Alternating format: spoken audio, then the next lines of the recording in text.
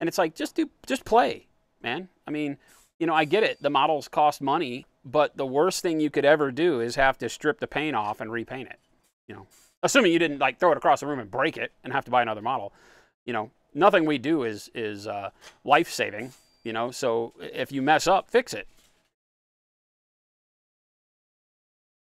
Yeah, if, yeah, Jen's over there saying if you're throwing a tiny toy across the room because you're mad at it, you got bigger problems, and painting is probably not what you should be doing for that moment right then.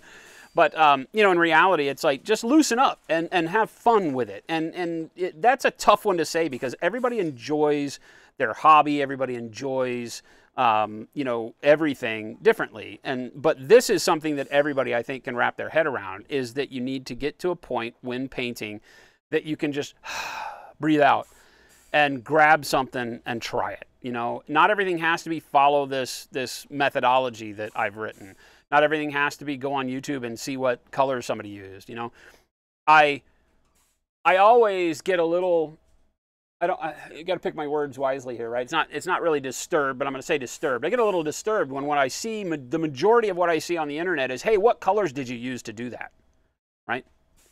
Because if I could just press a button, boop, and have everybody's head go, you know, and and just look and say like, oh wow, you know, like look at where they put the bright colors and the dark colors, and then you just go grab your colors and divide them up between bright and dark and just start slapping color on stuff, right? Um, very rarely will you make bad color decisions. That's a very broad statement. You may, but those are easy to correct, right? But it's more that constricting thought process that's like, I have to have the right colors to do this job or I'm not going to do it. Because then you wind up just not painting. Because you'll use the colors. Like if you ask me, hey, what'd you do to do him? And I tell you the colors I used on the face, you'll paint the face and it won't look the same and you get bummed out. Well, I got all the right colors, they told me, and I did all the things and it looks different, you know? Because what it's really about is textures and contrast and all of that. And then if you want to do those textures and contrast with the same colors, then the color list becomes important. But it's like third or fourth down the list of importance at any point in time. And I say that time and time again. So for me, and, and the way that I like to talk to people, and a lot of people don't like this conversation, is that if you want to get better at your art, if your art includes visual, painting, drawing, whatever, is to loosen up. Loosen up and just sketch. Just go for it. You know, like imagine having a pencil and a piece of paper and wanting to draw a horse. Just start sketching a horse.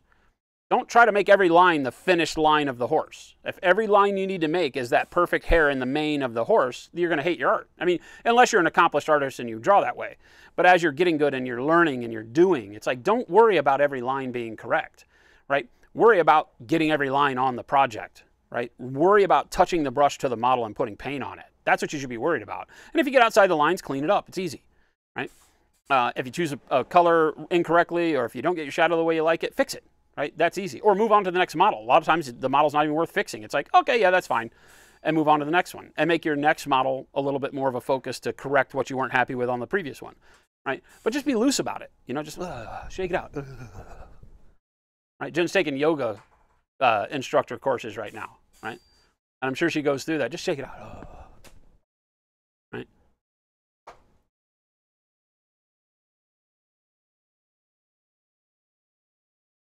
Makes sense that you'd be in charge of the best paints with that attitude, no compromise, just quality. I mean, that, I mean, we don't like we don't want to just sell stuff. We want to make great stuff and then hope it sells. you know, that, that's always the the scare of being in business. But you're asking contrast val contrast greater than value, greater than style, greater than color, or style greater than contrast, greater than color. Well, that's a hard. That's not an equation you can overlap on everyone. That's going to be choice. It's very subjective.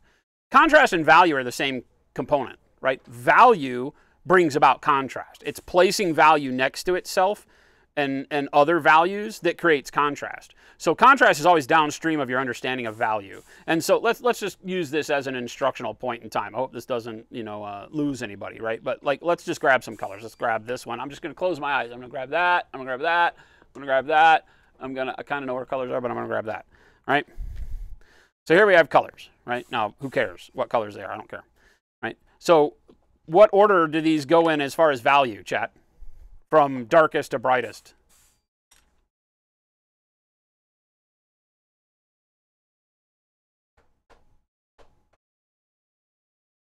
I, I actually didn't know what I was grabbing. I did on the first one. I looked at it, but then I was...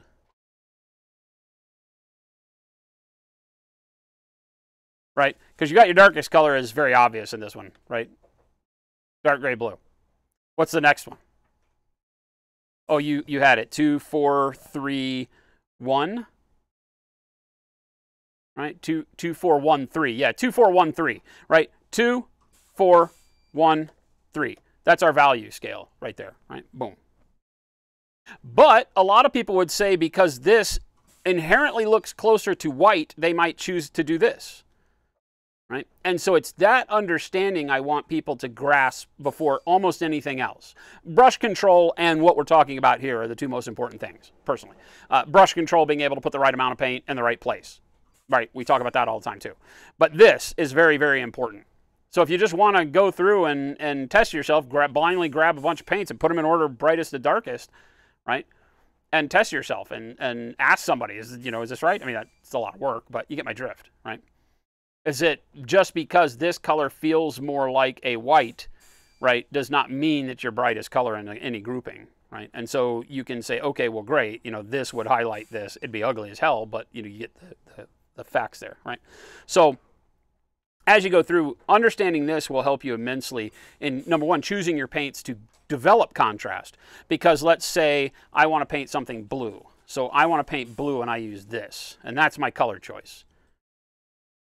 What am I lacking? Right? I have a dark blue, a mid-tone blue, and a bright blue. What am I not going to have on my model?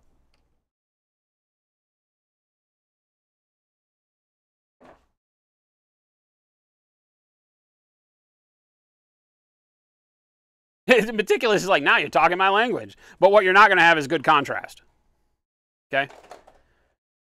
You're, you're not going to have good contrast out of this. You're going to get a good blue, but you're going to lack contrast. And so your model is going to look what we call flat, right? Why is it going to look flat? Because you're not going to have enough volume to anything you paint. Because even if you have these two colors sitting next to one another, there's not a big enough value change there to create a real good volume. Now, you can create volumes, but they're going to be dark. So your model is going to need to be a darkish model. So your lighting and your scene and the, the story you're trying to tell is going to need to be filled with more of a moody darkness if you're going to go here, right? And a lot of people would say, well, that's, you know, your 40K uh, grim dark kind of stuff. But what you lose is the ability to pick out a lot of the details on the model are not going to be until you get it up close and can stare at it, you're not going to be able to find the details, right? So what you really need to do is this is great. This is a great blue workup, but what you would really want to do is punch it in with like gray blue at the end, right? Make a huge jump and brightness to almost, you know, a, what we call fake white a lot of times around here. It's like this would act as your white. This would be the brightest co color in the mix. You don't need to have every color in between here, right? I don't have to go to, to sky blue and, and then, you know, I don't know what this is, turquoise and, and white mixed together. You don't have to do this. You can, right? This could help you with your blending if you go through more steps of color, right? But in general, you just do this. right? And then you, you do your workup and you find your contrast here and maybe mix these two together, right? And then you to determine, like I say all the time, scale what you're trying to paint. Do you want it darker? Then you use less of this. Do you want it brighter? Then you use more of this, right? And you, you get that, that value built in. This will give you contrast on the model, right? But you can't just do this, right? If you just paint like here and even here and then here, right? You can make it work, but you're going to find yourself mixing these two in order to do it. Because this, these are both so dark. Yes, they're different. This one's darker than this one, right? But this is too bright. So you do need something in between there to make it all work, right? This works great. You want to paint blue? Bam, blue, right? So that's why we focus so much on talking about those types of things because that will get you really focused on the contrast that you need on a model in order to really get those details to pop right? So and, and you see it like as we go through from the beginning stages we've used some dark and some bright but you can't really see the details on her. Right? We haven't outlined anything and if we outlined it all in a in a dull color then you wouldn't see it either you know? Then we get contrast when we start adding in all of our brightness. This is the same exact base coat here to here right? But we start doing stuff. And even at the kind of three foot test level that we look at our miniatures on the table, you can see there's some edge highlights going on here. There's some brightness going on on the, on the tops of muscles and stuff. Of course, the non-metallic gold blows the contrast out. That's where most of the contrast on the model is going to be found.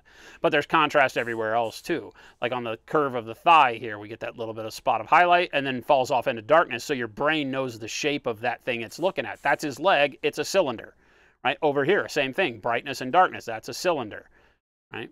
And that's what you're trying to do. We have brightness so we can see the pecs, right? Uh, we can see the, the abs here, right? We can tell the cylinder the arm because we have darkness where it's supposed to be, brightness where it's supposed to be, right? So we start playing around with those things, and now the model reads, right? Forget the color, who cares? It can be black and white, nobody cares, right? I mean, obviously you care for the end of the model, but it really is irrelevant for a lot of when you're deciding, right? You just want those shapes to be able to be found. Whereas this one, I can see some of the shapes, right? But not a whole lot, not near as many because I haven't worked the contrast in yet. I'm still in that kind of mid-dark range here to mid-tone. I don't have highlights. I don't have true darkness on the model yet. So you got to find all that and punch it in.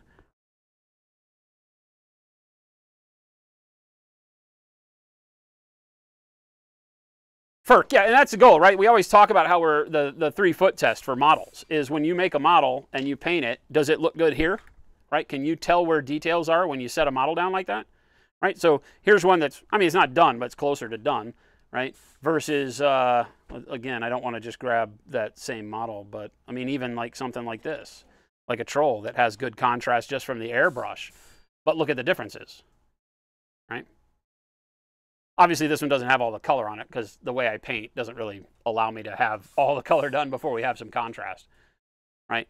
But you can see like that there's a cloak here with folds in the cloak, right? You can tell that on the, whatever his weapon is, that there are various items along the weapon because I've got contrast in all my metallics between gold and silver and the brightness on each and the red even still shows that it's part of a cylinder, right? The highlighting on all the gold, you can see his head, you know, now the one thing here is that his hair color with the orangish yellow, you can't tell. It just looks like a bald guy. So if I were looking at this model and really interested in it, I'd be like, okay, I need to pull some more contrast between his hair and his skin. You know, when we get it up closer, right, you can tell. But so maybe if that was a concern for you, you'd choose a different hair color. Maybe you do black or something like that, right? But you can see that whatever he's got has horns or, you know, there's all these details. You may not know what it is, but you can see detail on it, right? And so that's a good test to see how your painting is going. The other test is that, you know, just take it and, and take a black and white snapshot of a model, right? And by taking a black and white of this guy here, do I have my phone on me? Here, let me go grab my phone. Because this is the easiest one for you to do.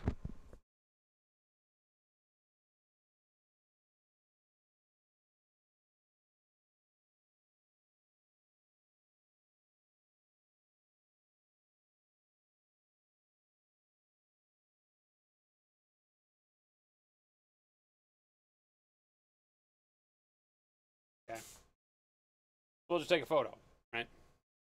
Everybody can take a photo. At least I hope everybody can take a photo. Okay. We'll do this. Uh, we'll duplicate this photo. Okay. Take this photo and edit it. And I think I can go here and all the way over here. Not noir. Silver tone. Mono. Right. So on iPhone, it's just called mono. You don't you don't want to do these crazy ones like silver tone and noir. I mean, they work, but they add in a bunch of false black and contrast. The mono just takes color. Boom, done. Okay. But then let's uh let's let's crop it so it's easier for to tell what the hell's going on. Where pull it up. Done. Crop this one. Where done. Okay. Then, right, it's not gonna matter, right? We made it square, it doesn't matter fuse, right? So then, let's zoom in here. Now we've got, uh, you know, you can say, okay, I, I like where this model's headed, and then you take your black and white of it, and you say, can you still find all of your details, right? So do things like this purple cloth and the blue flesh stand apart and let you know that they're different things when you come over to black and white? Yes right? You can see that the cloth, even though over here it doesn't necessarily look like it's a whole lot brighter than the blue. As a matter of fact, here you might say the blue, the blue is brighter than the purple. It's not, right? The purple is actually brighter than the blue. but it lets you know that these are different materials, right?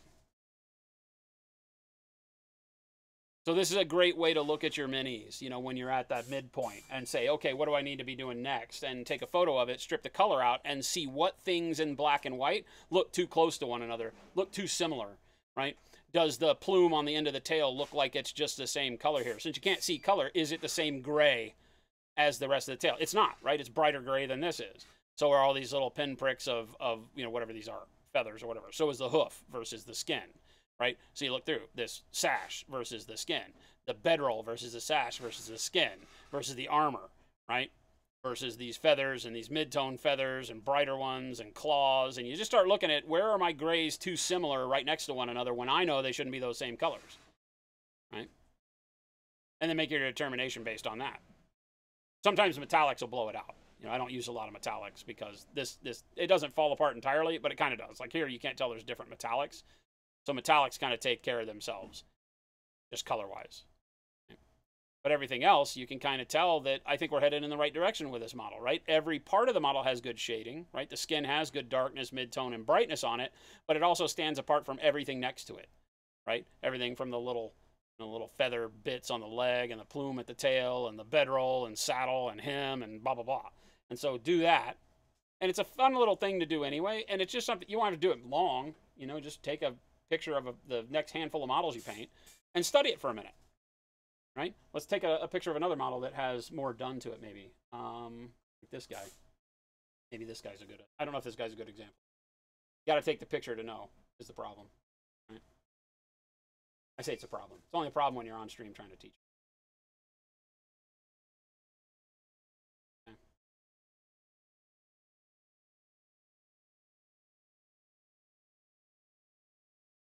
Take this guy.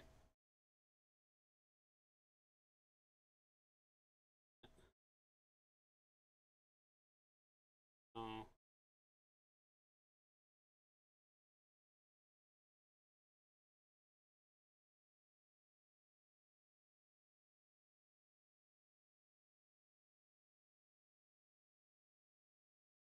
I think you hit like eight buttons.